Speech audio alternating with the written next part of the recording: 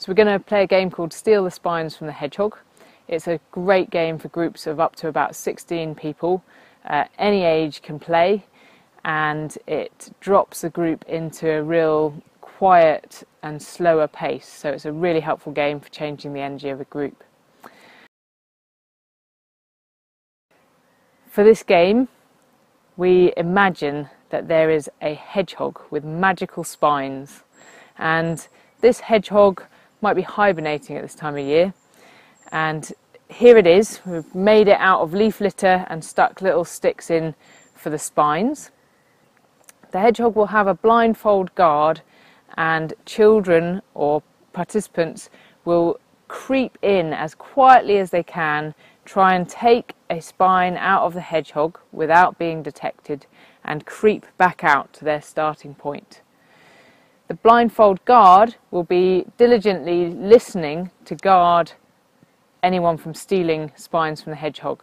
They'll have a, a, bandana on over their eyes, and whenever they hear a sound, they'll point directly to it. They will not waver and point randomly at, at wide areas because this is ineffective and unclear. Um, because there may be multiple players coming in from a similar direction, it's very, very helpful to have a facilitator of this game sat behind the blind guard and being able to look down the line of sight from where they're pointing to say if it's a hit or a miss. The game can be played upright using fox walking, the stealth movement of um, placing your foot lightly on the earth, where there's another video explaining that in more detail.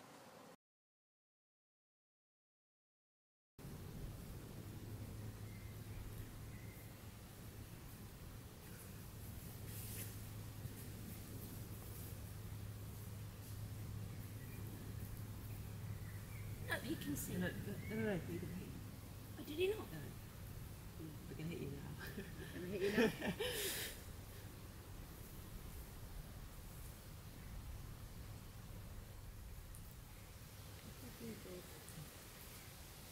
The guy, you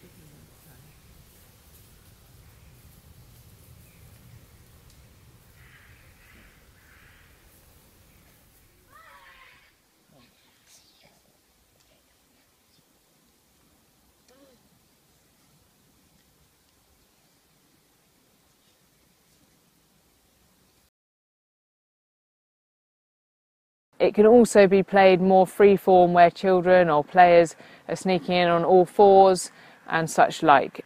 A variation that's really fun in hot weather is for the blind guard to have a small and not particularly powerful water pistol. And as somebody's coming in, they would squirt where they hear a sound and the person either gets wet or they don't. If they do, they would go back out to start again. You can also have it that they sit in, in position and wait until they're invited to move again. Top tips for this game.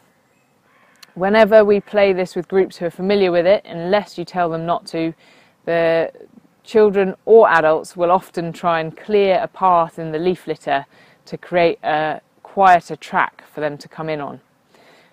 This defeats some of the aims of the game.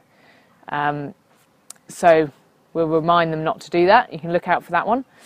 Another thing is as they're coming in, they might be tempted to throw a stick or a chestnut or something to make a disturbance elsewhere. We also discourage this and we um, really highlight the honour of having really great skill. And actually, if you are skilled enough to stalk in or stealth move in, take a spine and stealth move back out, um, successfully without being detected, that you get a nature wish to honour your skill level.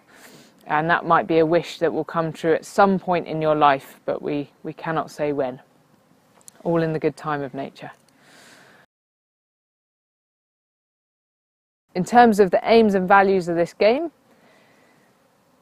it's a really effective game at slowing people down and bringing in a focus and a real intentional and attentive movement. Um, it's excellent for expanding the sense of hearing and the, the senses of proprioception and balance. it's really great one to utilise and practice fox walking with. So we often will teach fox walking just before playing this game and the children or adults playing can then put it into practice straight away and there's a need within this game to do that. So you've seen the game being played, that's Steal the Spines from the hedgehog and hope you have a lot of fun with it.